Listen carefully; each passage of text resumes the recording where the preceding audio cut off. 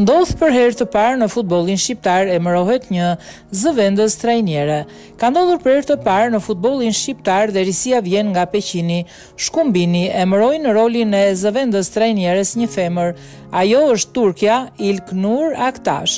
Me një të kaluar në Fenerbahçe ajo do të shërbejë si krau i djathtë i trajnerit Etlem Çapja në kategorinë e dytë. Me këtë emërim Shkumbini theu një tabu në futbollin shqiptar.